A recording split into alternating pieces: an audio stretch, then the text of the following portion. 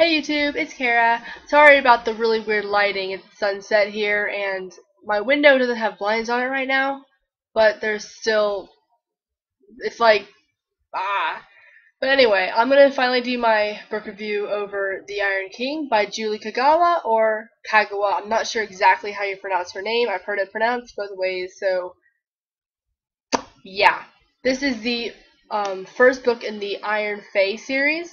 There are four. Iron it goes Iron King, Iron Daughter, Iron Queen, Iron Knight, I believe is how it goes. I'm not exactly sure, but I'm pretty sure that's how it um, goes. Um, okay, so let's get into what this book is about. This book is about a girl named Megan Chase, and she kind of lives in a backwards kind of home, like in the middle of nowhere. Um, at the age of six, Megan's dad disappeared, and since then she just hasn't felt like um, at home anywhere. And then all of a sudden, her best friend starts to act really weird and protective over her, and something is watching her, and she can kind of feel it, and she kind of feels a little creeped out. And then the story really takes off when she finds out that she is, in fact, the daughter of a mythical fairy king, and that she is um, a pawn in a fairy war. So, that is where the story takes off. There is romance, there is adventure, there is mystery. So my rating, well, I'll just, I'm going to say my rating until the very end, just so I can get through all my points that I have, because I have a lovely little list to show you. I lost my first list, so I had to make this one up again. Alright, so I'm going to go ahead and start with negatives, because no one likes to hear negative things about books that they like, but I'm going to start off with the negatives. The first negative that I had of this book um, was that it kind of reminded me in the beginning of Alice in Wonderland. She is taken into a new world, just kind of like Alice is taken into a new world, and there is a cat in this book called Grim that really resembles um, the Cheshire Cat in Alice in Wonderland. Not that that's a bad thing. I'm sorry. I keep looking at my face and it's like, ah, okay. Um, it's not a bad thing at all. It's just kind of when I was reading it, it kind of reminded me of Alice in Wonderland. And then there's a scene towards the end that kind of reminded me of um, the movie Labyrinth with David Bowie. So that was probably it was just kind of annoying that I was reading it. And I was like, oh, that totally reminds me of a movie because you know that's not supposed to happen, but and it wasn't a ripoff or anything. It just kind of reminded me of it. Um, the second negative I have is here. Sorry, I feel like my face is. Uh, there we go. Um, in the book, Megan Chase, the main character, there there's mysteries in the book, and she comes to find like she'll there there'll be a scene and there will be a clue, and all of a sudden she'll get an idea, and it it's kind of like the ideas the, the how fast she gets the ideas and how accurate they are kind of it wouldn't usually be that way. Kind of, it's a little too fast how her revelation is just like, oh, I got it. And it's kind of unrealistic how fast she can get it.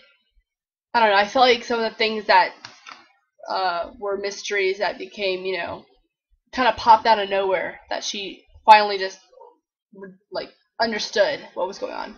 So that was probably a negative, but it wasn't, you know, detrimental to my reading or anything. Um, it was a little slow.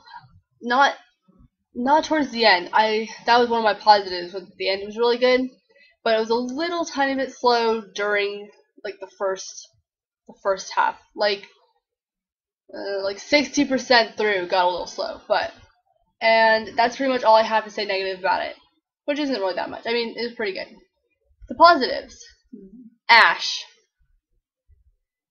That's pretty much all I need to say.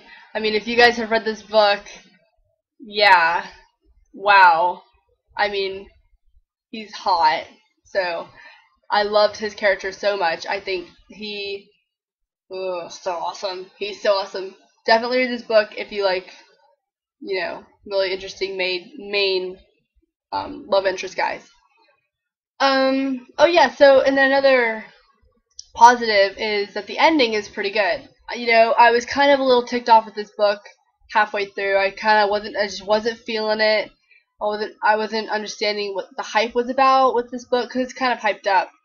but towards the end, like the last 60 to 100 pages, I, I really liked it. I definitely think it picked up a lot at the end. And um, it's gonna have you know there's also all the obviously gonna be a sequel, and I definitely am gonna get that sequel because the ending doesn't tie up a lot of mysteries that have been sprinkled into this book. So I definitely want to um, find out what the mysteries are and see more Ash, obviously. But and also, I really liked the beginning part in the Wyldwood. So if you haven't read this, there's a beginning part, and I think it's really good. It's very interesting. So that's pretty much all I have to say. I'm giving The Iron King by Julie Kagawa, Kagawa, not sure how to pronounce her name, a B minus. But I'm extremely excited to get the um, next three in the series. Uh, so yeah, that's basically it on this book. Um, and as always, just really fast, I am currently reading um, Leviathan by excuse me by Scott Westerfeld, and I am on page 80. So I don't know if you can see how far I am. I'm not very far at all. I just started reading it two nights ago, and I've been really busy with projects and all that fun stuff. But so far, it's really good. It take um, it has two characters that you uh, switch back and forth. You know, you one second you're in this character's world, the next second you're in that character's view uh, point of view. That's what I'm looking for, that word. But um, so far I'm really liking uh, Deryn's point of view a lot better than Alek's point of view. So yeah, that's pretty much all I have to say. Sorry it took so long to upload this video. It just it gets dark at 5:30 and my my camera just hates me at nighttime, so I can never film it at night. Um, so yeah. Awesome. Bye.